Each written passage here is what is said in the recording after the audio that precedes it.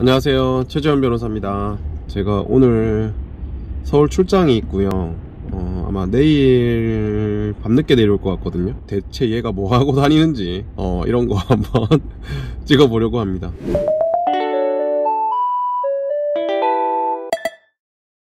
궁금해 하시더라고요. 제가 서울 출장 뭐 간다, 뭐 어디 뭐 다른 지역에 출장 간다 이러면 출장 가서 뭐 해요? 재판이 있는 거예요? 이렇게 하거든요. 재판이 있는 경우도 있고 학회 같은데 발표하는 경우도 있고 행정심판 이 있어서 행정심판하러 가는 경우도 있고 뭐 여러 가지 이유로 출장을 다닙니다. 차에서 이렇게 뭐 조금씩 찍으려고 할 때마다 예, 날씨가 좀 흐리네요. 아침 지금 아침 8시인데 빗방울이 조금씩 떨어지고 있습니다. 예전에는 길 가다 보면 뭐 음악 소리 같은 거 크게 외부로 틀어놓기도 하고 겨울 되면 캐롤도 크게 틀어놓고 하는 경우 많이 있었는데 요즘 그런 거 잘 없죠. 이게 저작권법 때문에 좀 문제가 있었거든요. 저작권 따로 사용료를 내지 않으면 그렇게 외부로 틀거나 할 수가 없습니다. 예, 그래서 좀 많이 없어졌어요. 캐롤 한번 들어볼까요? 캐롤 듣겠습니다. 캐롤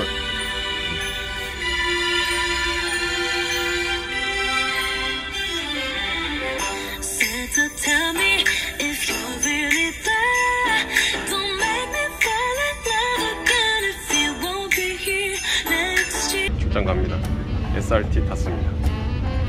네, 저희 저희 사무실 변호사님입니다. 네, 잘 가서 잘하고 오겠습니다. 네, 오늘 중앙노동위원회 예, 오늘 심사가 있어서 심리가 있어서 갑니다. 열심히 여기 일하는 일하는 변호사님. 세종정부청사. 여기가 세종정부청사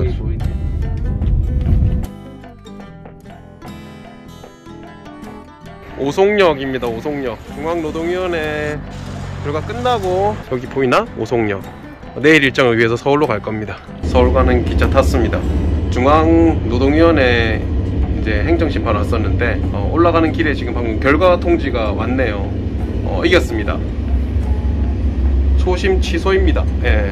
지방노동위원회에서 졌던 사건인데 중앙노동위원회에 올라가서 지방노동위 결정을 뒤집었습니다. 저희 고객은 복직할 수 있게 됐습니다. 기쁜에 올라가는 과정에서 이제 이런 결과 받으니까 숙소에 들어왔습니다. 어, 내일 국회에 발표가 있어가지고 토론회가 있어가지고 그 토론회 준비도 조금 하고 그 다음에 이제 의견서 쓸 게 있어가지고 의견서도 좀 쓰고 그러려고 합니다. 호텔에 오면 좋은 게 헬스장인데 헬스장 가려고 했는데 지금 좀 시간이 늦어가지고 내일 아침에 잠깐 갔다가 활동을 또 하려고 합니다. 출장 2일차는 내일 다시 말씀드리겠습니다. 안녕히 주무세요. 저는 안 잡니다. 일해야 돼요. 아침에 일어나서 피트니스 센터가 있어가지고 잠깐 운동하러 내려왔습니다. 지금 시간은 5시. 예, 오늘도 화이팅! 국회에 왔습니다. 오늘 여기 저도 발표를 하게 됩니다. 아직 시작 전입니다. 방송국에서도 오고 의회에 들어오면 방문증 국회에서 이제 발표 끝나고 저희 서울 사무소가 있거든요. 서울 사무소에서 잠깐 변호사님들 만나고 인사하고 저녁에 동아리 후배 만나서 이제 밥 먹고 이제 막 기차 탔습니다. 이렇게 출장 일정 마무리하려고 합니다. 부산역 도착했습니다. 예, 늦은 시간이라 사람이 별로 없네요. 이제 얼른 가서 예, 씻고 자야겠습니다. 감사합니다.